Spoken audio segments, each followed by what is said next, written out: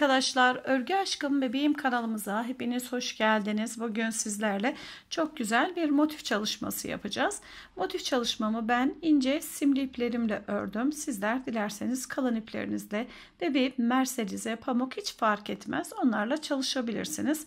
Kullanacağınız örgü tipine e, göre ipimizi belirlerseniz güzel sonuçlar elde edersiniz. Evet kolay gelsin diyerek hemen çalışmamıza başlayalım. Kolay gelsin. 6 zincir çekerek modelimize başlayalım. Şöyle sabitliyorum. 1, 2, 3, 4, 5 ve 6.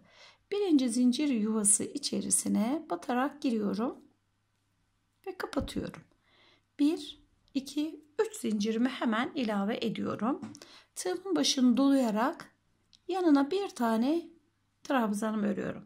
Bir defa dolayıp 3 defa da çekiyorum ve arasına bir 2 zincirimi çekiyorum. Tekrar tığımın başını doluyorum. 1 2 3 Yanına ikinci bir trabzan ekliyorum. 2 trabzan, 2 zincir şekliyle bu, bu yuvarlağımızı dolduracağız. 2 zincirimi çektim. Tekrar 1 2 3 yanına 1 2 3 2 tane zincir 1 2 3 1 2 3 bu şekilde dolduralım. İkişer ikişer trabzan gruplarımızı tam 8 tane örerek geldim. 1 şöyle açarak göstermek istiyorum. 1 2 3 4 5 6 7 ve 8. Şimdi birleştirme işlemini yapıp ikinci sıramıza başlayabiliriz. Birleştirme işleminde zincirle geçmeyelim. Geçiş yerlerimiz belli olmasın, iz olmasın. Sadece tığımın başını doluyorum. İlk bakınız zincir çekerek yukarı doğru çıktığım trabzanın en tepe noktasına batıyorum. Tığımın başını doluyorum. Bir, iki defa örerek şöyle zincirimi bu şekilde hazırlamış oluyorum ve üzerine 1 2 3 tane zincirimi çekerek trabzan gruplarımı örmeye başlıyorum. 1 2 3 tekrar doluyorum. 1 2 3 3 tane trabzanımı ördüm. Hemen 1 2 3 zincir çekiyorum. Ve tığımın başını doluyorum. Diğer zincir çektiğim yerin içerisine gelerek bir tane trabzan örüyorum bir defa dolayıp üç defa da alayım. 1 2 3 bir defa da dolayıp üç defa da aldığımız trabzanlar şeklinde örüyoruz. 3 tane trabzanımı arka arkaya örüp köşemizi oluşturuyoruz. 1 2 3 bütün zincirler 3 tane olarak çekilecek. Yine 3 trabzanımı örüyorum bir dolayıp 3 defa da çıkarıyorum. Tekrar 1 2 3 sıradaki yere bir tane trabzan 1 2 3 zincirimi çektikten sonra buraya köşemizi örüyoruz. Bir köşemizi örüyoruz. Bir boşluğa bir tane trabzan örüyoruz şeklinde. 4 tane köşemizi tamamlıyoruz. Trabzan ördüğüm için biraz şöyle hızlı örer gibi oldum ama göstermek istiyorum. Bakınız 3 tane trabzanımı ördüm. 3 zincirimi çekip bir trabzan. Tekrar 3 zincir köşemizi ördüm. Köşemizden sonraki gelen yere tekrar bir tane trabzan zincirlerimiz hep üçer tane. Yine diğer köşemizi oluşturdum. Ve şimdi 3 zincirimi çekip burada yapmış olduğum işlemin birebir aynısını tekrar ediyorum. 3 zincir batıyorum. Tekrar 3 tane zincir köşemizi örelim. Bütün köşelerimizi örerek modelimizi tamamladım. Aralarda birer tane trabzanımız şöyle görecek olursak bakınız. Şöyle. Şimdi en son köşemizin yarısını ördük. Diğer yarısını şimdi tamamlayacağız. Birinci tam, ikinci tam, üçüncü tam, dördüncü köşemizde şimdi çekmiş olduğumuz 3 zincirden sonra yuvaya girip 3 tane trabzanımı örerek tamamlıyorum. Geçiş izi olmadan örüyoruz. Tığımın başını doluyorum. Zincirden oluşturan trabzana batıyorum. Alıyorum. Bir, iki defa da kapatarak burayı tamamlıyorum. Şimdi üçüncü sıramızı örmeye başlayalım. Hep buradan geçişimizi yapacağız. O yüzden birinci grubumuzu örüyoruz. Diğerini bitirirken bir tanesini başlangıçta bir tanesini bitişte hep burada aynı işlemimizi yapıyoruz. 1, 2, 3. 3 zincir ve yanına 2 tane trabzan ilavesiyle toplamda 3 tane trabzan sayısına ulaşıyorum. 3 zincirimi hemen çekiyorum. 3 zincirimi çektikten sonra aşağıda bir tane trabzanımın sağında ve solunda üçer zincirin olduğu bölümler vardı. Buraya sarmaya başlıyorum. 1. Çok uzun olmasın. Şöyle trabzanlarımızın boyutunda 2, 3, 4, 5, 6 ipinizin kalınlığına göre artırıp azaltabilirsiniz. 6 defa sardım. Hemen kapamadan diğer tarafa geçerek tekrar 6 tane diğer uç için sarıyorum. 1 başını dolayıp giriyorum. 2 3 4 5 6 Buradaki sardığımız fıstıklarımızı tek seferde çekiyoruz ama şöyle tutarak çekersek daha güzel olacak. Çekiyorum.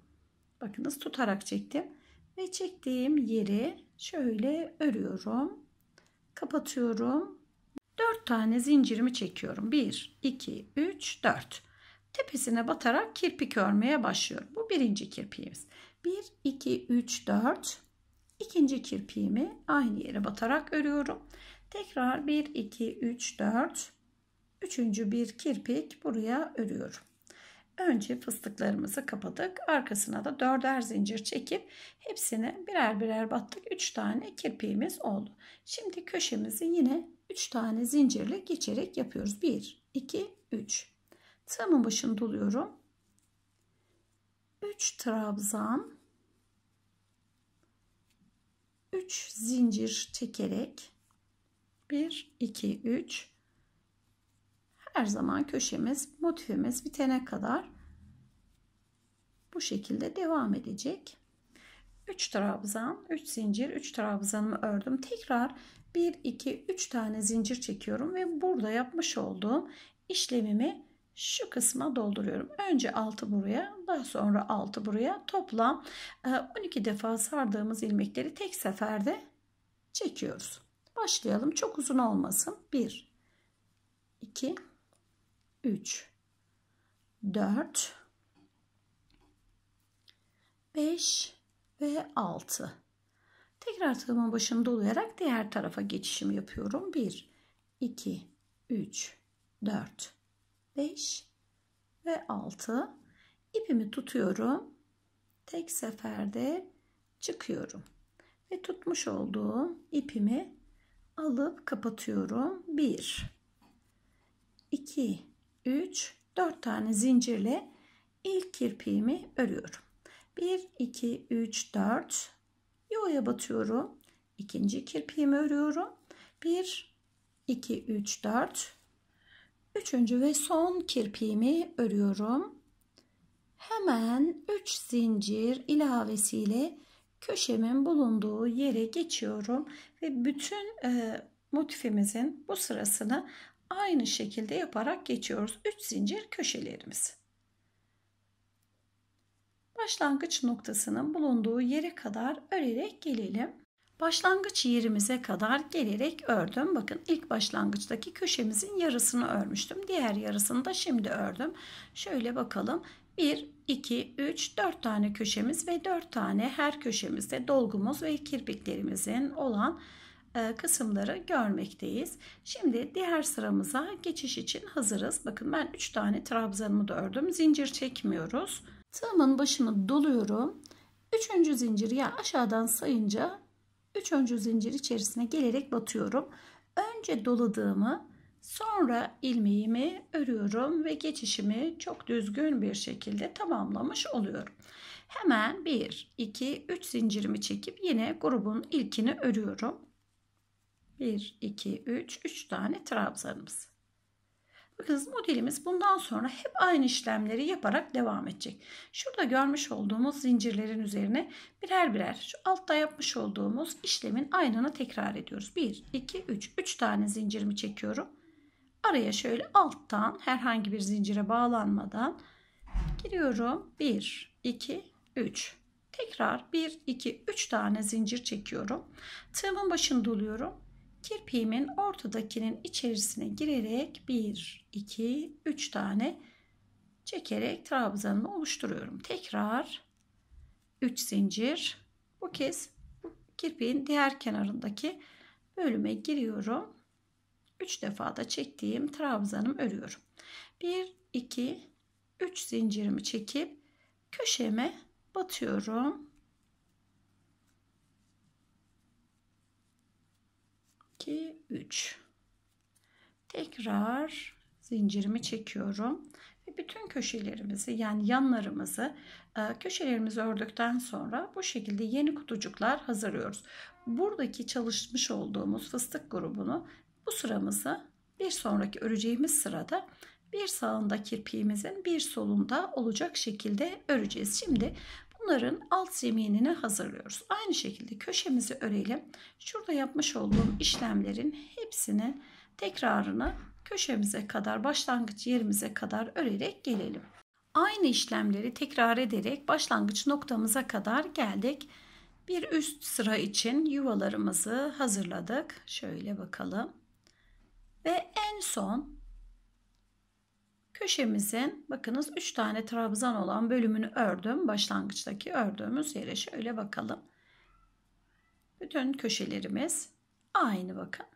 Şimdi geçişimizi yapalım. Başını bir defa doluyorum. İlk trabzanın tepe noktasına gelerek batıp bir ve iki defa da çekiyorum.